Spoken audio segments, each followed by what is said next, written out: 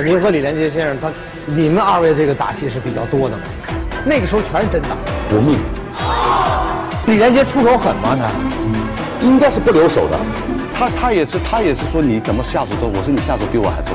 那你得挨了多少打呀？太多了，这辈子挨了太多打，在光脸上可能有有二三十针吧。在一场节目中，季春华只是简单问个路，他逮着一个姑娘就问：“姑娘，我问你一个事。”长发姑娘见了他，看了几秒，吓得转身就跑，只留下一句：“太可怕了。”季春华愣在原地，想叫回姑娘，哪有人啊，姑娘！可姑娘越跑越远，就像他说：“没办法，人们第一次见我都怕，怕是人们对季春华的第一感触。他一张方脸，光头，没有眉毛，看起来凶神恶煞。但少有人知的是，他其实是很有侠义精神的人。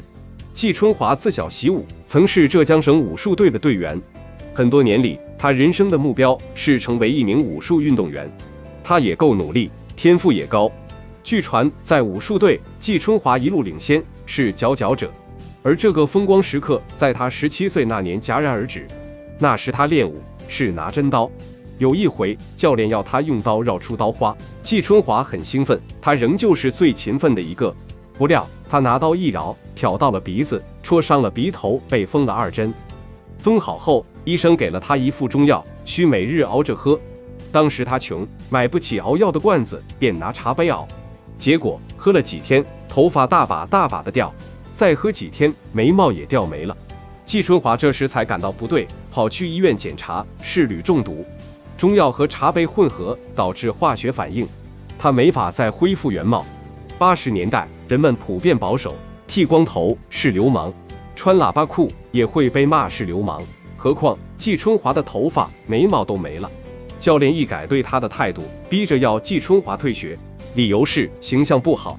那一年他十七岁，本是一腔热血，想用武术谋生，如今被驱逐离开。青春期的少年心思敏感，季春华被赶走后变得极其自卑。用他的话说，连见人抬眼看你都不敢看。回家后，他闷在家里，谁也不见。一好友见他这样，很是心疼，劝季春华去学散打。季春华想了想，武术是打，散打也是打，反正都是打，便去了。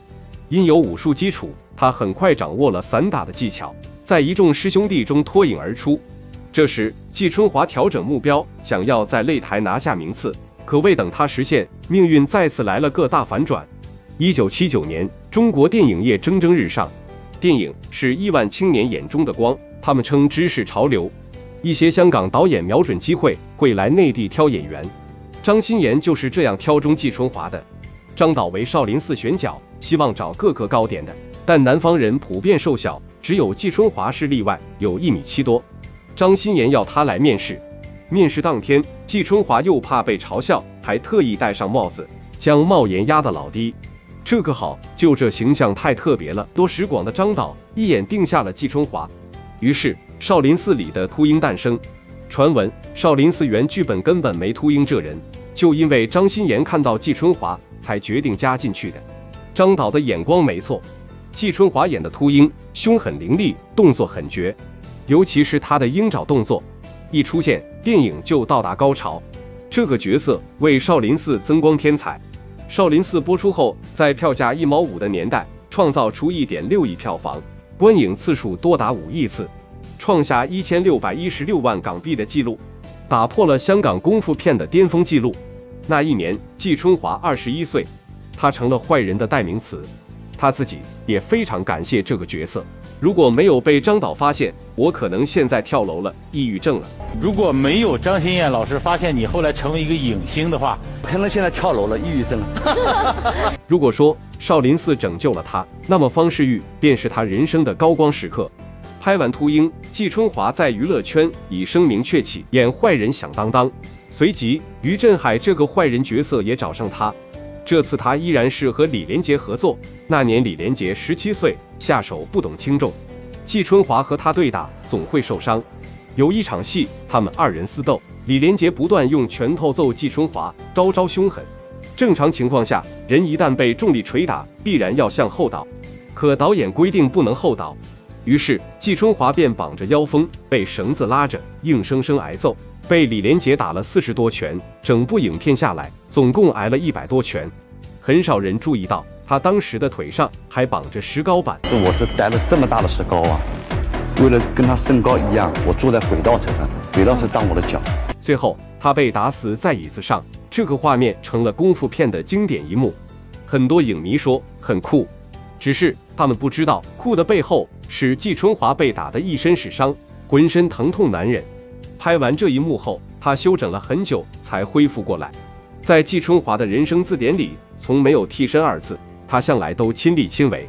拍《天龙八部》，他演恶人段延庆，这个角色需大面积化妆，导演直白告诉他：“我必须破你的相。”季春华二话不说，将脸伸过去，结果造型师用乳胶一点点往他脸上涂抹，这个胶就像醋和牙膏，只要涂在脸上，肌肤都会收紧。一般皮肤不好的人还会发炎，季春华不在意这些。他都能忍受，唯一不能忍的是去拍《新少年五组》那次。他说里面的妆是我拍戏三十年来最痛苦的妆，那是在大冬天，剧组用乳胶将他全身涂满，还拿浆糊重复抹了一次。为了让人物形象丰满，每当季春华动一次，又拿刷子在他身上刷。拍着拍着，浆糊里的化学物质渗入到他皮肤，季春华本中毒了。他头疼、腹痛，甚至抽搐，差点就命丧黄泉。还有一次，他真的差点死了。那是在甘肃拍《少林传奇》三大漠英豪，有个镜头危险至极，一清兵踹了季春华一脚，他头朝地滚到坑里了。季春华第一反应便是伸手，但他手一抓没知觉，再伸脚依然没知觉，他开始慌了，手脚一启动依然没感觉。大概过了两小时，知觉才慢慢恢复过来。这次拍戏也给他留下了后遗症，此后他的手握力出现障碍，受伤他自己都习惯了。他说，就脸上已缝了三十针，鼻子除了上次的二针后又缝了三针。我的理念是什么呢？就是疼，不练也疼，练也疼，那怎么办呢？我练，每天练给你看。可以说，季春华拍戏是玩命。而他敬业，同时与之成正比的是他的恶人形象得到所有人认可。但哪个正常人愿意一直当坏人呢？季春华也想演好人。二零一七年，窦骁尝试挽救季春华的形象，让他在霍元甲系列里演于洪水，忠诚重义，铁骨铮铮是个大好人。结果季春华一出场，一直被观众骂是坏人出来了。他首次尝试转型以失败告终。季春华也坦然自嘲说。